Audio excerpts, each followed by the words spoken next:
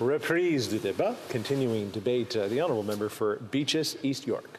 Thanks very much, Mr. Speaker. I'll get to the conversation around pricing pollution, but I want to start with a threshold question that we all have to answer, which is, do you care to take action to save our planet? Do you care to reduce emissions for our kids? Do you care? And if the answer is yes, then you get to a different question, which is how are we going to reduce emissions in the most efficient way? You want to respect taxpayer dollars, then you reduce emissions in the most efficient way. Now, common sense, I hear a lot about common sense across the aisle. Common sense presumably should be that polluters pay. And pollution, you should know, is a, is a classic market failure. I've heard some people bandy about different economic opinions. What's a market failure? Well, in this case, the cost of polluting is costless to the polluter, and it is borne collectively by all of us. So what's the answer to that? The answer to that is a price signal. And the answer, very simply, common sense, is to make polluters pay. Now that's what this price on pollution does. You don't want to, though, penalize people. You don't want to make people worse off. You want to change behavior. And so, matched with that price, internalizing that negative externality, matched with that price, you make sure that there is a rebate. You recycle the revenue. Now, I've heard people go back and forth on this. The fact is 90% of the revenue goes back to households directly. It's 100% of the revenue goes back to provinces of origin, 90% to households directly. If there was a motion today that says 100% should go back to households, I would vote for that motion for sure. We could improve it. But the fact is, 90% goes back. It's largely revenue neutral. I've heard a question, does it work? Of course it works. This is not me saying this. You look at the emissions uh, progress report for 2030 and you see a, more than a steady decline. You see a decline from business as usual. So if we took no action, if we took the kind of action we saw under the Harper government, if we took no action from 2015 on, we would have seen emissions rise to 815 megatons by 2030. You look at that progress report, does anyone in this House know what they stand to be with all of the action we've put in place?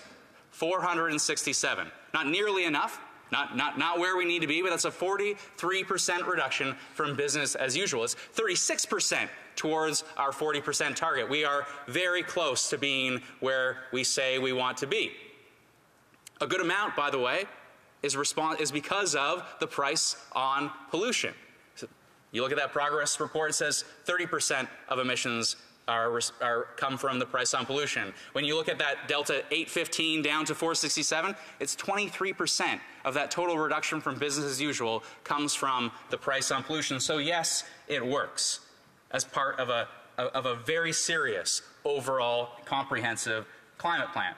Now, it is easy to care about climate change when you are well fed. And I have heard lots of talk in this House that the price on pollution is making people poorer. The worst among us, it is hurting those who are already hurting. It is deeply, deeply cynical, Mr. Speaker, to trade on a real affordability crisis, to trade on the real stress and the real struggle of so many people in need to undermine effective and efficient climate action that makes most households whole. It does It does not increase the cost of everything to send people to food banks. We've seen, I said this in, in, in, in asking a question of a colleague, and I got no good answer. We've seen 20% food inflation these last two years, and the price on pollution, economists tell us, accounts for under 1% of any inflationary impact. That is not the cause of the affordability crisis. We could have a very interesting debate about interest rates. Maybe the member from Carleton would tell us that he wants to fire the Bank of Canada governor. We got a very interesting debates about uh, interesting debates about interest rates and what is truly driving the cost of living crisis. It is not it is absolutely not. No economist will tell you that it is the price on pollution. We could also have an interesting debate about social welfare in this country. We've increased Canada Child Benefits significantly. We've brought hundreds of thousands of kids out of poverty. We've increased the Canada Workers Benefit. We've increased GIS for seniors. You know what provincial governments have done? Largely conservative provincial governments. They have not increased, they have not increased welfare. They have not increased disability supports in keeping with the cost of, in keeping with the cost of the rise of inflation. I'm standing here in Ontario. The member could tell me what this Ford government has done to make sure disability payments keep pace with the cost of inflation. And guess what? They've done next to nothing. So you want to talk about the real cost of living crisis and what drives that cost of living crisis? We can talk about food inflation, we can talk about interest rates, and we can talk about the lack of provincial action in their area of responsibility. What we should not talk about, if we care about facts in this House, is the price on pollution. Now, the, much has been made, much has been made of the PBO report. I wonder sometimes listening to the debate in this House whether anyone has actually read this report. So let me quote from it. On a fiscal basis, on a fiscal basis, and I quote, most households will see a net gain versus the fuel charge and related GST. More, the fiscal only impact is broadly progressive. So hang on, what's this about? But the PBO says it's going to cost us more. And I will be absolutely fair in this, and there's a real debate we should have.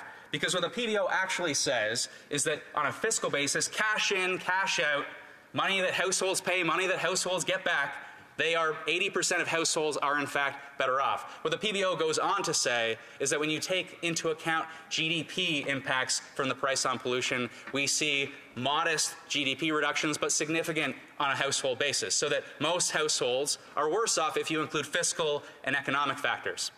Now, they don't say that about low income households, so again, trading on food banks offering no real suggestions for helping people out of poverty completely incorrect even on the PBO's analysis. But, but let's, let's focus a little bit more on whether the PBO is right. Fiscal analysis is easy. Money in, money out. On an economic basis, I would say they are wrong. It is not gospel. Here's this from the American Economic Journal, for example, on the macro impact of carbon pricing. We find no evidence for a negative impact on employment or GDP growth, but rather find a zero to modest positive impact. Or this from the IMF from June.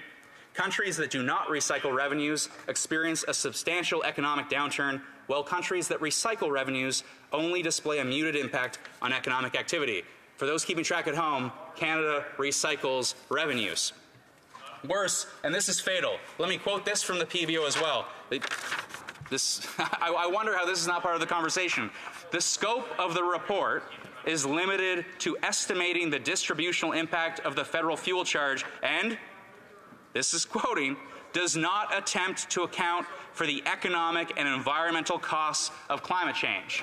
So conservatives could maybe explain to me why we would consider the negative economic impacts on one side of the ledger of the price on pollution, fiscal impacts are better for households, we would consider the negative economic impacts, but we wouldn't consider alternative scenarios, technology not taxes, that's going to cost households more, it's going to be paid for by taxes, or, or worse, we don't take into account the real economic costs of climate change, of unchecked climate change. And let's be absolutely clear if you don't have a serious climate plan in this country, and the federal conservatives are not interested in a serious climate plan, we are going to see unchecked climate change. And, and let's, let's return to costs. We have conservatives that have no plan. Since I have been in Parliament, they have had no plan except except for Erin O'Toole, who was promptly ousted. Why? For having a plan. So we have, and, and, technology, not taxes, is not a plan. If you don't have a price on pollution, what does the price on pollution do? The price on pollution says to consumers it's going to be more expensive to pollute.